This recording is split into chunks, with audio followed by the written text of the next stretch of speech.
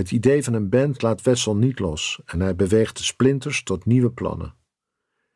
In een van de zeldzame oude straatjes achter het theater is een jeugdhonk waar je kunt biljarten en tafeltennissen, onder toezicht. Er is een bamboebar en op zaterdagavond dansen tieners op de muziek van bandjes uit de omgeving. Wessel regelt dat ze daar op een woensdagmiddag na vieren kunnen oefenen. Dan moeten ze meteen ook een foto maken. Met ieder van hen in een zachtgele trui met een V-hals. Op de foto moet ook de naam van de band komen, met cursieve schrijfletters. The Splinters. Dat oogt internationaler. Het kost even moeite om hem te overtuigen, maar Stan doet ook mee, belooft hij. Wessel benadrukt hoe belangrijk het is dat Stan erbij is. Dat hij het zegt en niet Henri, is Stan wel wat waard. Hij zal zijn witte gitaar met F-gaten meenemen en als het lukt, de roodgevlamde van zijn broer. Henri beweert twee drumstokjes te kunnen lenen van zijn oom die trommel speelt in de harmonie. Ik ben aan muzikaal, zegt hij, dus ik hou die stokjes wel vast op de foto. Ad neemt in ieder geval de microfoon van de bandrecorder van zijn broer mee, maar die rood plastic mondharmonica moet hij thuis laten. Kinderspeelgoed, zegt Henri, en hij stinkt. Stan heeft alvast plectrums uit de plastic deksels van afgedankte Tupperware bakjes van zijn moeder geknipt. Bessel krijgt er als enige plechtig een overhandigd. Hij voelt zich uitverkoren. Alvast voor als hij een gitaar heeft. Het plectrum ruikt vreemd, dof zoet, met heel in de verte de geur van gekookte aardappelen.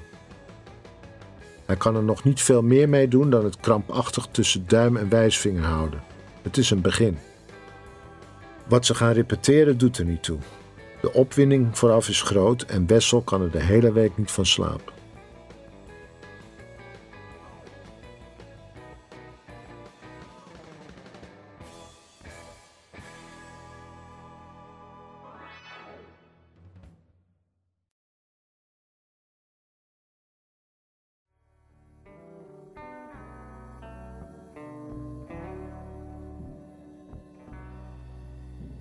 Stan is er niet op het afgesproken tijdstip en Bessel voelt nerveus in zijn broekzak aan de ruwe randjes van zijn plektrum.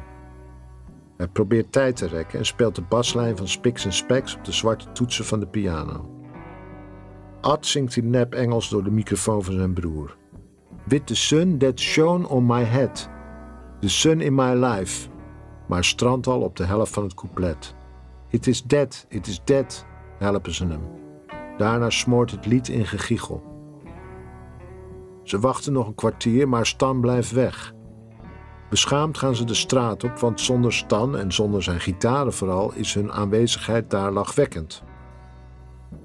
De teleurstelling wordt enigszins verzacht door Ad, die een verkreukeld blaadje uit zijn broekzak haalt, waarop hij thuis de woorden voor een eigen liedje had gekrabbeld. Ik heb een paarse broek, die ligt nu in de hoek, want als ik hem dan draag, dan wordt mijn vader kwaad. Dat rijmt niet, durft Wessel te zeggen. Het maakt niet uit, het klinkt toch goed, roept Henri. De tekst gaat eigenlijk over Stan, vinden ze. Dat hij thuis te veel op zijn nek wordt gezeten. Ad had het iets anders bedoeld. De opeens aanwezige vader in het lied wordt door de anderen niet gezien. Alleen het couplet is misschien een beetje weinig. Er moet nog wel iets bij, zegt Wessel. Ja, iets van Hey, hey, who took my brook away? Henri danst met zijn hoofd zonder zijn bovenlichaam te bewegen. Maar dat is Engels. Art voelt steeds meer commentaar op zijn tekst. Dat is toch juist goed? Henri's hoofd blijft doordansen. Is beter, benadrukt Wessel. Dan moet het couplet ook in het Engels. Ad kijkt er zorgelijk bij, maar belooft ruimhartig eraan te werken. Zo komen ze vooruit.